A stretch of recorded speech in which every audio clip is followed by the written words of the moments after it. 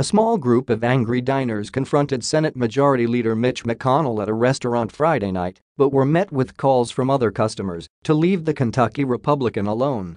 Video obtained by TMZ shows at least one diner berating McConnell on issues such as Social Security at a restaurant in Louisville.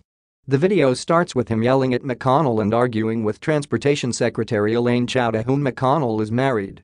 The outlet reported that four men first confronted McConnell Oh yeah, why don't you get out of here? Why don't you leave our entire country, the protester tells the couple. As Chao argues with the protester, McConnell appears nonplussed and sips on a drink. But other diners begin yelling at the protester, telling him to leave him alone and making shooing gestures. They're going to come for Social Security, he told the other diners, before appearing to be approached by staff.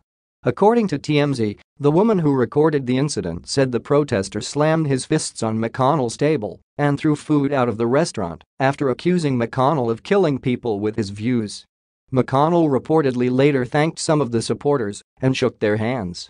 McConnell's office did not immediately respond to request for comment from Fox News.